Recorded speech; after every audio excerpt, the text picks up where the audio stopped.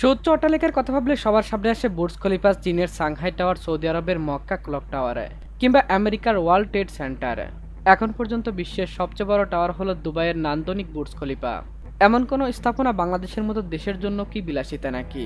না এমন কোনো ভবন বাংলাদেশের জন্য বিলাসিতা হবে না, এমনটাই বলছেন বিশেষজ্ঞরা। একটি দেশের আধুনিকায়ন করতে যেমন সুষম উন্নয়ন করতে হয়, ঠিক তেমন একটি মেজর সিটি থাকা লাগে যেটি দিন শেষে ওই নির্দিষ্ট শহরকে রিপ্রেজেন্ট করে। সেটি দেশের ভেতরে বা দেশের বাইরে। রাজধানী ঢাকার কথা যদি চিন্তা করা যায়, বর্তমানে এটি বিশ্বে বসবাসের অযোগ্য নগরীর একটি। অবশ্য এর আধুনিকায়নের চেষ্টা করা হচ্ছে। যেমন মেট্রো রেল বিআরটি বিমানবন্দরের থার্ড টার্মিনালের উন্নয়ন ফ্লাইওভার নির্মাণ।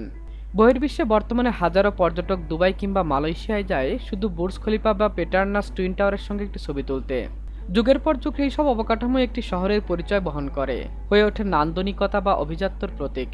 বাংলাদেশেও এমন একটি মেগা প্রজেক্ট হাতে নেওয়া হয়েছে। এমন একটি টাওয়ার তৈরি হবে বাংলাদেশে। টাওয়ারটির নাম দেওয়া হবে বঙ্গবন্ধু ট্রাই টাওয়ার। ঢাকার অদূরে পূর্বাঞ্চলে যেখানে এই প্রকল্পকে কেন্দ্র করে গড়ে উঠবে একটি স্মার্ট সিটি।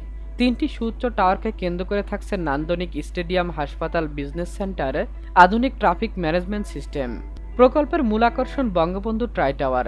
এখানে থাকছে ভাষা আন্দোলনের স্মরণে বাউন্ন তলা মহান মুক্তিযুদ্ধের স্মরণে একাত্তর তলা এবং শেখ হাসিনার লিগেলেসির স্মরণে একশো এগারো তলা বিল্ডিং। এই তিন টাওয়ারের চারিদিকে উনপঞ্চাশ তলার আরও চল্লিশটি ভবন নির্মিত হবে। বর্তমানে প্রকল্পটি বাস্তবায়িত হবে যথাক্রমে শিকদার গ্রুপের sister company power pack holdings limited এবং জাপানের কাজিমা কর্পোরেশনের মাধ্যমে। সবকিছু ঠিক থাকলে দুই হাজার চব্বিশ সালে প্রকল্পটি দৃশ্যমান হওয়া শুরু হবে। বর্তমানে প্রকল্পের পাইলিংয়ের কাজ চলছে পুরোদমে। প্রকল্পটির তদারকির দায়িত্বে আছে রাজধানী উন্নয়ন কর্তৃপক্ষ।